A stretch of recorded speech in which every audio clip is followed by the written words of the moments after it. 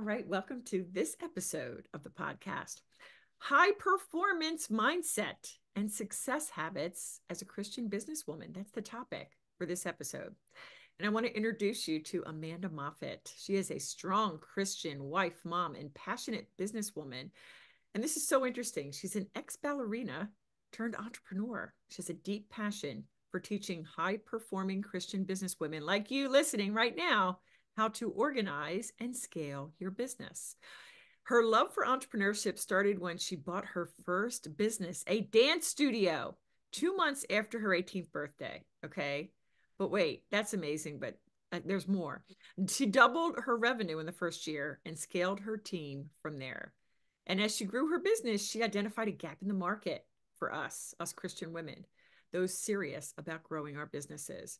And so you know, it's interesting. And I think we still see that a little bit, Amanda. Sorry, this is part of the bio, but um, there's this gap where we have business coaching and education online that's either secular and worldly or Christian, but kind of surfacey and really ineffective. So Amanda followed her nudge that God placed on her heart, and she started Pursuit, a global community and membership for high performing Christian businesswomen and she has a podcast. It's called the Pursuit Podcast. And uh, wow, that is quite a bio. So let's say hello to Amanda. Hello, Judy. I'm so happy to be here with you and your amazing listeners. Thank you for being here. So listen, let's let's go back to that story. And I have to ask, mm-hmm. um, I think for those listening, instead of watching you on our YouTube, I want them to understand how old are you now and give us this backstory. Fill in a little bit of the details if you would. Yes. Yes, absolutely. So, right now, today, I am literally only 22 years old. So, I'm younger than a lot of people expect. Mm-hmm. But I have to rewind a bit because I started, I feel like I started a lot of serious things much younger than is typical. Like, for mm-hmm. example, as you said, I was a ballet dancer, and in the ballet world, and basically in all sports in general, or if you take something very seriously like an instrument or something and you decide i'm going to go to the top with this. I want to be in the 1% globally or you know whatever that is for you you have to start pretty early on and you have to get serious early on. So i was already doing like online schooling and getting college education um, in high school still. Um, as i was pursuing my ballet career i was already traveling the world. I traveled for ballet the first time when I was literally only 12 years old. Mm. And I would go to summer programs for dance and I danced in Spain and New York and Chicago and Seattle, so many places, Austria. And all of that happened before I was 17 years old. And so you do a lot of, when you do a lot of serious things very young, I, I think I just I think it just comes with like the discipline you learn so early on when other people are, you know, doing normal great things like sleepovers and parties and whatever. You're training, you're working out, you're studying extra so that you can train your craft even more. And so I I, I think a lot of people are very shocked when they see or get to know that I am 22. Mm-hmm. But it kind of helps me fill in the gaps of, you know, I started a lot of serious things very young.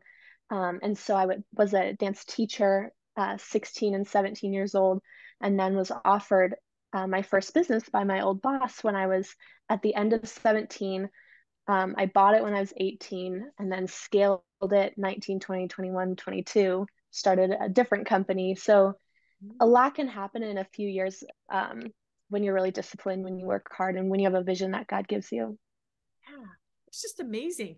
And I'm going to ask what some women out there might be asking. And mm-hmm. this doesn't mean that uh, it's not coming from a bad way. I really want to hear your heart on this. Um, mm-hmm. Do you feel like you missed out on anything? You know, I honestly don't. And here here's why I say this. I say this because my I had amazing parents. I have amazing parents who prioritized my mental health and well-being the whole way the best that they could in a very competitive cutthroat industry um, you know i was a young girl in the top top super cutthroat ballet industry it's very much like the modeling industry um, especially the higher you climb, you know. Um, but I had extremely supportive parents who did their very best. I think they did a great job at helping me to still have that as as wholesome of a childhood as I could along the way as I worked hard. And the thing is, you know, and I think a lot of people who are like really dial into one specific thing and decide they're gonna they're gonna go all in and be super successful, like like the people you see in the Olympics and stuff, Yeah. they really love it more than anything else in life. They it's such a passion that when you're in the middle of it, you genuinely don't even want to go to the pool party that you're missing. You you're not even sad that you're missing the sleepover. Every once in a while, like you're human, you know, of course, but you have a passion that your other friends in school your age just don't have, and that's okay. Um, but because you love it so much, it's actually not so hard to sacrifice for it. Um, and as soon as you start to really struggle with sacrificing for long-term success, that's when I, I, I would say um, to take a, a reflection and a little deep dive on, you know, is this the nudge that God's putting on my heart? Um, am I willing to sacrifice short-term enjoyment for long-term fulfillment and success?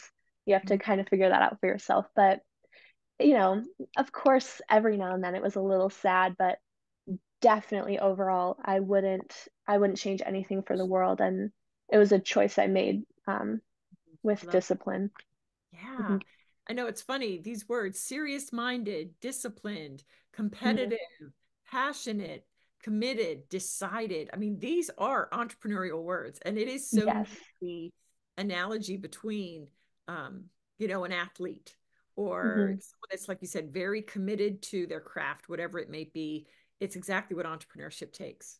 Yeah. it's not it's not the Yes. easy button from Staples. It's you can Mm-mm. make it simpler, but there's Mhm. hard work and sacrifice, and you have to be willing to do scary things. So I love Mhm. that. Okay, so let's talk about you owning this dance studio and how you manage that and building the team. I, I would before we Mhm. get into the meat of the, you know, the mindset and the habits, I do want the listeners to understand if they've never seen that in the back Yeah. end, what that really takes.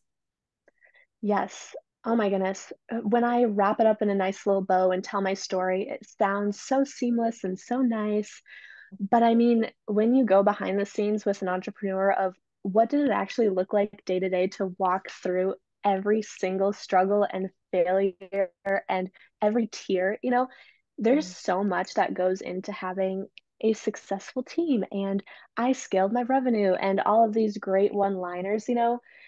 Honestly, it was so much trial and error. I had to fire, I had to hire. I did it all the wrong way at least once, and then I figured it out and I tweaked and I changed. There are there are things that I remember doing in my first year or just ways that I thought about business and marketing in my first year that absolutely blow my mind now today that I ever thought those would work or that they were good. And at the time, though, it was what I knew and it was the best idea I could come up with. But you, when you're committed to learning something and when you go all in and when you say, okay, God, I am going to take this seriously.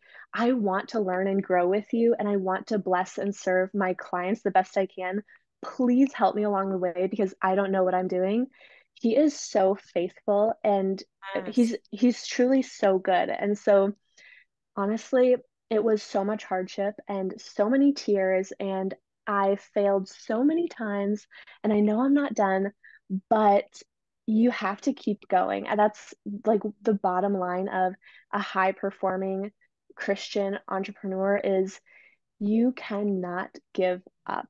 You just cannot. And it's, you see it all the time everywhere. You know, it's a nice, you know, headline and all this stuff. So many podcast episodes on it and books written about it, but you just can't give up. You just can't. It's the one thing you can never, ever, ever do.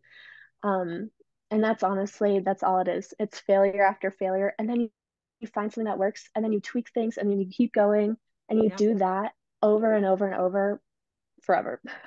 Yeah. So, what would you say to the person out there that says, Yeah, I hear this all the time. I just mm-hmm. got to keep going. And yeah, you say you fail, but can you give them like one example of like a huge, like, aha, one of your first maybe ahas as a student? Yeah. Yes, a super random one comes to mind right away. In my first year of business, I was running um, like a little promo, and because I didn't have systems yet, uh, when I wanted to send out this email for this sale, I was doing it manually right then and there rather than having like all of my sequence automated and ready to send out. Like I said, did not have systems yet. And so I had forgotten again because I didn't have systems. I forgot to send the sale promo email for that day. And so it was I think it was literally like 10:30 p.m. already and I thought, "Oh no, well, if I just send it now because it's an email, you know, it won't bother anyone. They'll just see it in the morning and it's great, you know, whatever." And so I send this promo email at literally past 10 p.m. And the next morning I wake up to the most terrible email ever. Just this woman was so upset with me that I would send an email past normal working hours, you know? And I yeah. mean, yes, the way she spoke, the way she wrote, could it be called a bit of an overreaction or unpropor- unproportional to what happened? Yes, sure. But also, should I have emailed during regular daytime hours? Yeah, probably, you know. But she wrote, you know, all capital letters. It's the type of exclamation marks where like she just held down on the exclamation mark, you know. And it wrote a lot. And I remember just this sinking feeling of, oh my goodness, I never in a million years would I have thought that I would have made a client so unhappy by just sending a little promo reminder, you know. Mm-hmm. And immediate lesson learned I will schedule these out ahead of time and I will only communicate during working hours. And, you know, that's a little example of uh, oopsies. I won't do that again, you know, but there yeah. were hundreds of those. Yeah, I bet. And, you know, to anyone, if you're listening to this show right now and you never got a nasty mail like that from something, and we never want to upset anyone, whatever the circumstance mm-hmm. happens to be. It could be an email, it could be a DM or whatever, right? Mm-hmm. Um, you know, we have a decision to make. Like, like just I wanted to have this coaching moment for the listeners that yeah, when that happens, that really didn't have anything to do with Amanda. She mm-hmm. just happened to interrupt that person's circumstance who she wasn't having a good night. Either she had just fallen asleep and she didn't like being awa- awakened, or she was having just a bad day and she took it out on there. So if anyone here happened to, you know, because God is so good and his timing is perfect, I bet there's going to be more than one woman that's going to be listening to this and said, oh, that just happened today and it destroyed my day. Don't let it. Apologize mm-hmm. as needed. But a lot of times people's reaction, it's really not about yeah. you. So I just had to yeah. drop that. All right, let's get into the meat of this thing. So high performance mindset. Let's even talk mm-hmm. about that phrase high performance because some listeners might think, oh, I thought that applied only to like athletes. You mean me mm-hmm. as an entrepreneur? So let's let's unpack that a little bit. Yeah. Oh my goodness. Of course. And you know, one of my first thoughts is when you say, you know, some people do think that's just for professional athletes and things like that. Well, I I can't remember the study off the top of my head, but I've heard it so many times being said that entrepreneurs and CEOs specifically have some of the highest rates for depression mm. and anxiety and high cortisol levels uh, just through the roofs. It's it's a very difficult job. It's a very difficult position. And in order to scale and do really well, like your listeners and like my audience as well, I, I know that's something that you all want. You need to have strength mentally. You need to have so much strength mentally. So it's so important. And I actually have 10, I have a framework of basically 10 things, like a little checklist of what does high performance mean? Sometimes it feels so vague and kind of elusive, but you know like what is it though like give me the meat give me the tangible you know if you want we can go through those 10 yeah let's go ahead let's do it so number one is high performers bounce back quickly and they recover really fast mm-hmm. all right number two they know and work in their strengths and they hire others where they are weak mm-hmm. number three they have a mindset of orchestrating rather than doing. And we can talk about that one a little bit more. It's, it's I awesome. like that. Yeah. Yeah. hmm Number four, they are very clear communicators. Number five, they are highly effective at sharing their vision with others and getting them to see the vision too. You need your team to buy into the vision and want it for themselves. Number six, they don't gossip about others. Instead, they stay in their own lane and don't focus on the competition. Being aware of competition is very different than being focused on it. Mm-hmm. Number seven, they are very comfortable with being uncomfortable and they get com- uh, and they allow themselves to get uncomfortable with change. Mm-hmm. Number eight, they are highly committed to personal development and the growth of their own leadership skills and abilities. Mm-hmm. Number nine, they are very strategic with and proactive of their time and calendar space. And number 10, the final one, they are willing to fail and make mistakes often, knowing that they will always get back up again. Mm. I can basically guarantee that if you show me anyone who has reached like very, very high levels of, of success in whatever field sports, academics, you know, medicine, business, whatever it is, they have most of these qualities, if not all of them, and they value these qualities and will teach them to. Yeah, I love that list. That mm-hmm. is that is, uh, ladies, listen back, go back and listen, mm-hmm. write them down, and say, yes. okay, where am I lacking?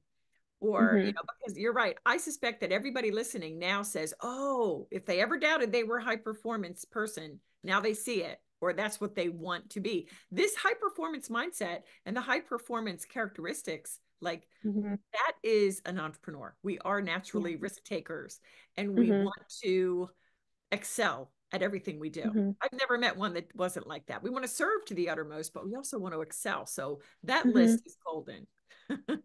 yes, I love it. yeah. So so those are like the characteristics or the mindset mm-hmm. approaches to things um let's let's unpack some of those like that third one landed the um i can't even remember right they um, orchestrate know, rather than yeah, do know, yes they know their own strength mm-hmm. and they delegate or hire others for their weaknesses. Let's talk about that. Yes oh my goodness. If you are a woman who truly wants to scale and you are serious about not just maybe doubling your revenue, but you want legitimate scale of triple, quadruple, 10, 100x. You need a high performing team of other leaders, and we can talk about that too, who aren't just yes men who do things, but they take initiative and they act and they know your vision, your mission, and they're bought into it. And so, as a high performing Christian CEO, you need to understand what gifts God has given you and what gifts God has given other people because it is the most beautiful thing in the world that you are not good at every single thing. That would put so much pressure on you actually to be the one and wear all of the hats, which millions of entrepreneurs do, which is just, I want to just take them all and say, no, like, please, please, please delegate, grow your team ASAP. Yeah. It will change your life. You want to attract A players that are ready to not just be somebody who writes an email and hits send for you, but somebody who says, Oh, hey, I had an idea for the email inbox and I came up with a system to make it more efficient when we do XYZ. Can I show you a few of the frameworks that I came up with?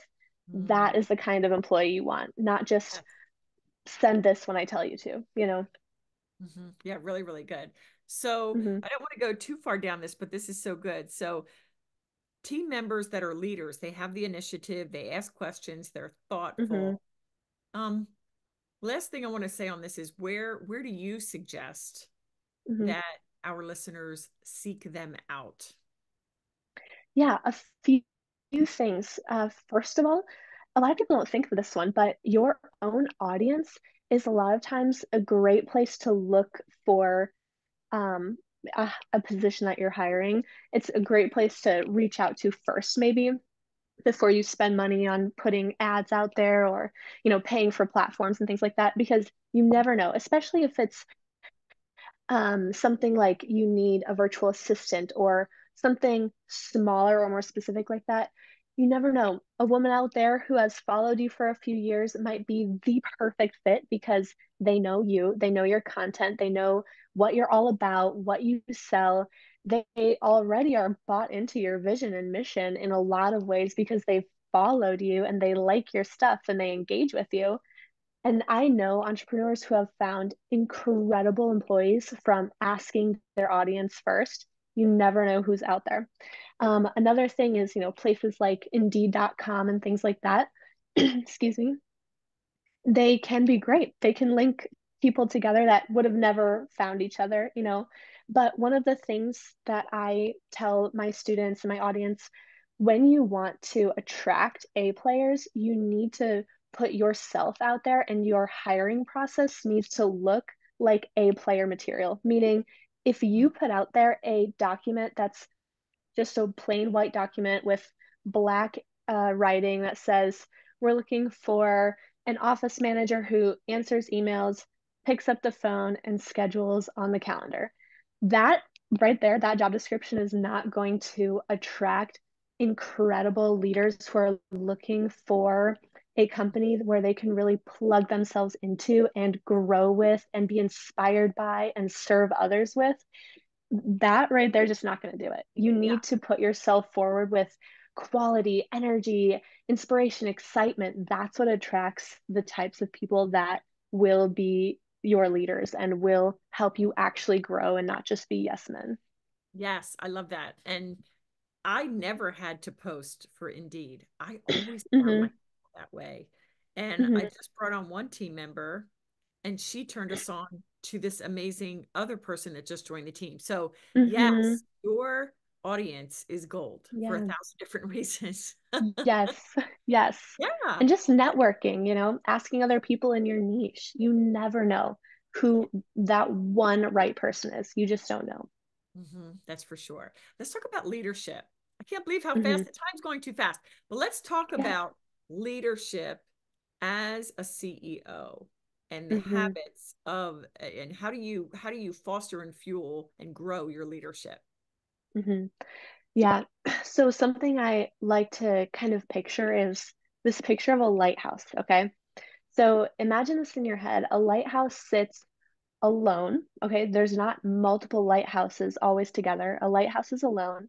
It shines a very bright light. It shines it consistently and it brings the boats to the safe harbor. That to me is what the picture of a true leader is because that light is also serving the boats that it is attracting. It is helping them get to a safe shore, a safe harbor.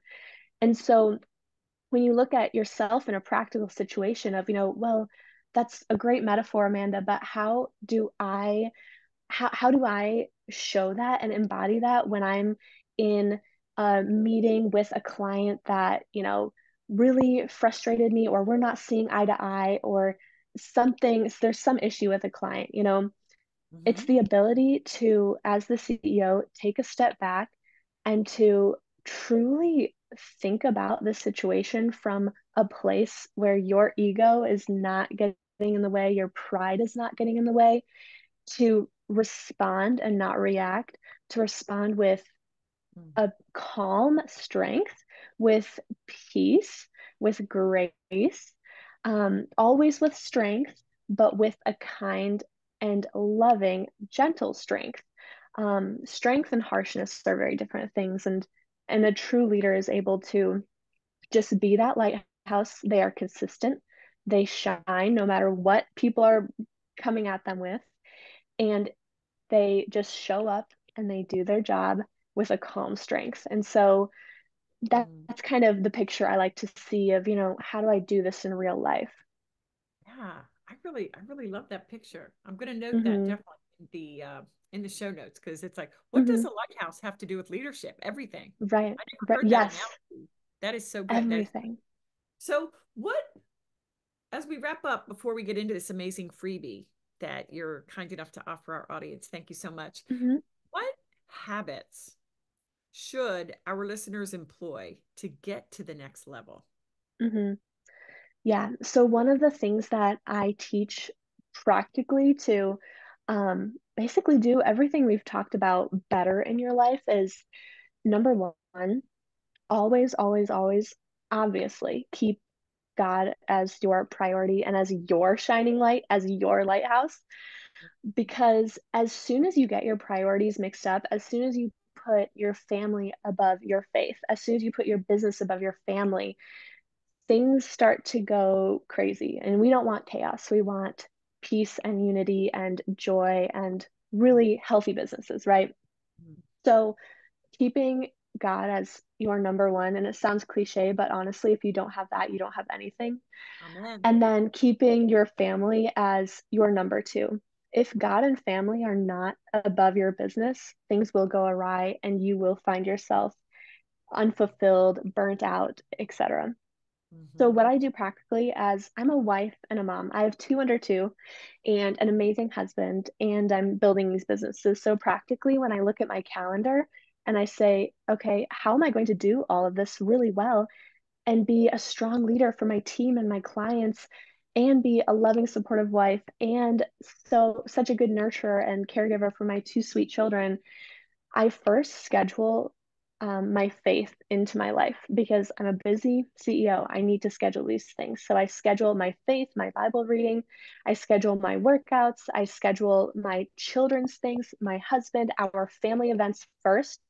After all of that is taken care of, then I see where can I plug my business into my life. Mm-hmm. If you start doing it the other way around, if you plan all your business stuff and then you say, oh, but my child has that doctor's appointment and my husband and I have that event to go to, you'll find yourself starting to resent your business because it's taking away from your true loves, which your faith, your family, the things that are important to you, you know.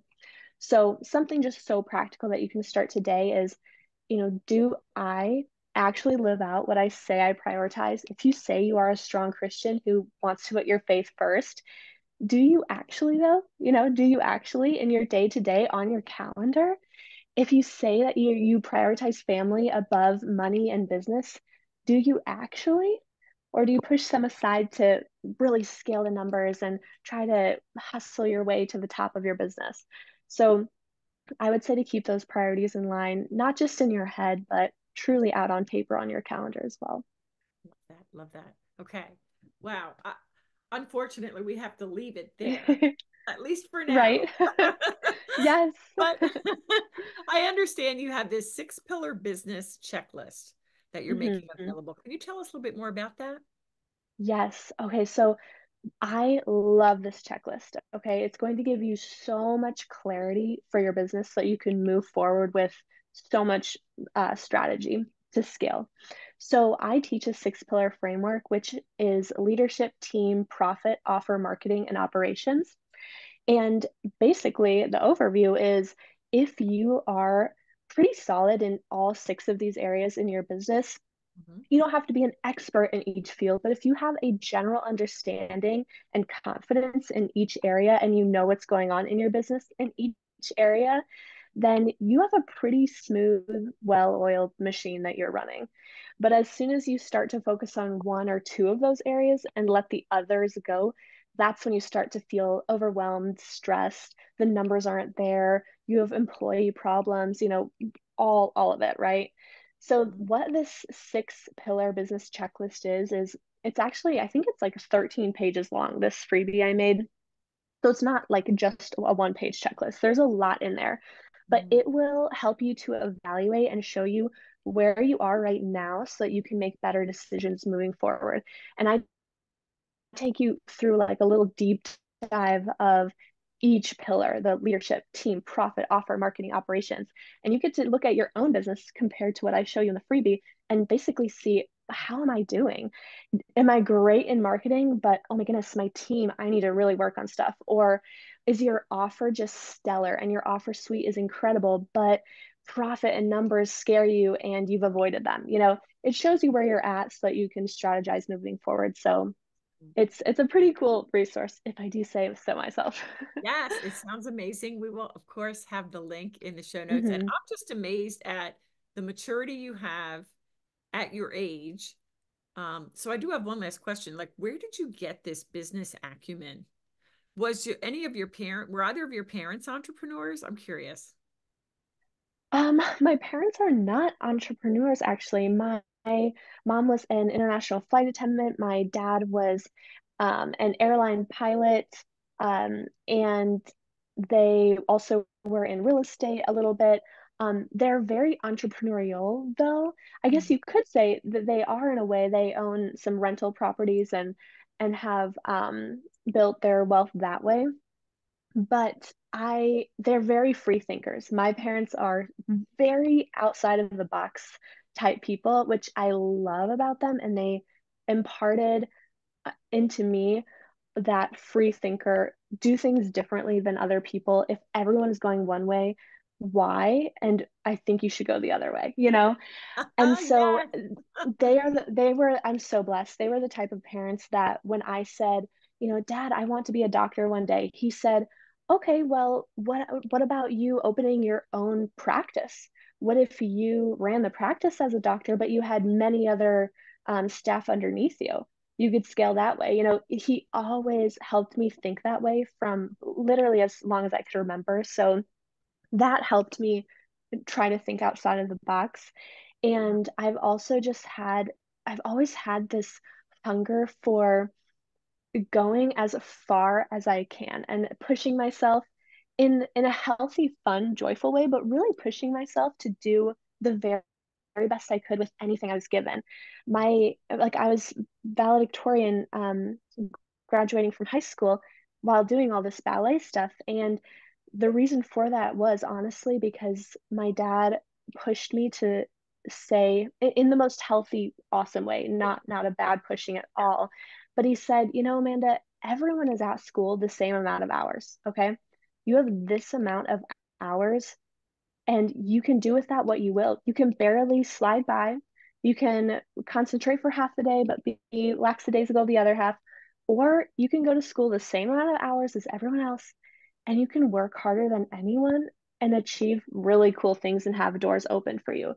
And I thought, wow, that's such a good mentality, you know? everyone has the same amount of hours and you get to choose how you apply yourself. And so um, working really hard became fun because I did it with the Lord and with support. I was really blessed with my family. And um, so just from there and just learning. So I read so many books. Well, I listen to so many audiobooks uh-huh. yeah. and so many podcasts. And it's like the air I breathe. So there's so, just always these gold nuggets, you know. Beautiful, beautiful. All right. So, where is the best place for our listeners to kind of get plugged in and connect with you? Yes, I hang out on Instagram a lot at pursuit.company. So it's just at pursuit.company. And I'm over there every single day. I share a ton of free value on my Instagram. So if your listeners liked kind of what I talked about today in my teaching style, I'm always sharing really fun, um, hopefully practical and actionable uh, value over there. So I hang out on Instagram a lot, and I also have other free stuff for um, for my audience over there too. Sounds great. Awesome. So, mm-hmm. and of course, mm-hmm. listen to your podcast, right? So, plug that if you would. Yes. Yeah, go ahead. Yeah, the Pursuit. Yeah, the Pursuit podcast. I'm also a host there, and it's so fun. I give you so many just, like I said, hopefully really actionable things that you can take and implement right now to see results in your life and business. So, I love the podcast. Yes. Isn't it so much fun? It anyway, is so fun. Listen, Amanda, I love you. This has been such a joy. And yes. Uh, I have no doubt that your parents are blown away by the daughter that they raised. I'm I'm amazed at this beautiful young woman of the Lord sitting here with me, and it has been just a joy to feature you today. Oh, thank you, Judy. It has been such a blessing to be here. Thank you so much for having me. Absolutely. All right, ladies, this wraps up another episode. If you haven't yet left a review, please do so. We just passed 200 reviews. Thank you, thank you, thank you. But look, I don't do it for the reviews, I do it to make your impact. So, as I always say after every episode, it's great. You've taken notes, you've listened. Now, what are you going to do with it? Okay. I bring on women to show you what's possible. And you know my mantra pursue the impossible. So, always keep in that, mm-hmm. write down if you haven't yet, what is that impossible that I really, really feel a desire to achieve? And every day, chip away at that because with the Lord, nothing is impossible. So, with mm-hmm. that, I will say goodbye and we will see you next time.